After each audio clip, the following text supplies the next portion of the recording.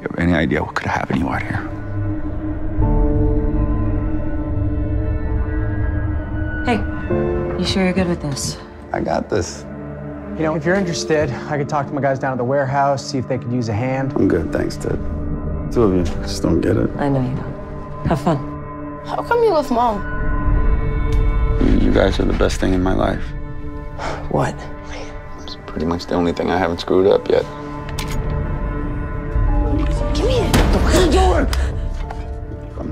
Sorry I yelled.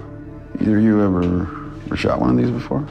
What if I took you boys out? Yeah, say yes. Uh, yeah, sure. Oh, no, it's cool. Ted gave us a card for emergencies and stuff. Yeah, well, this is not an emergency. Where's my phone? I want to spend some time with you. I don't want your phone to get all the attention. You drive. Let me try. Hey, you can see over the steering wheel. Hey, Wait, we're oh, going no. around!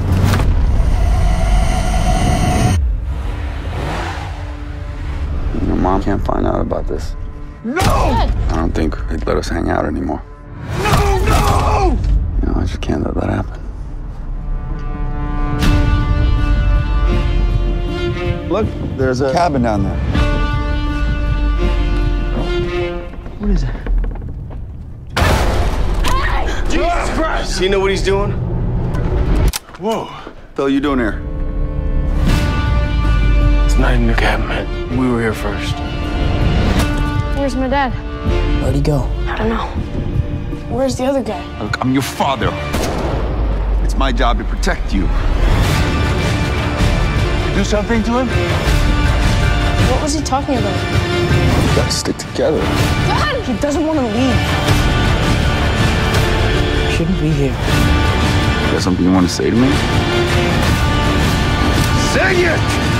I'm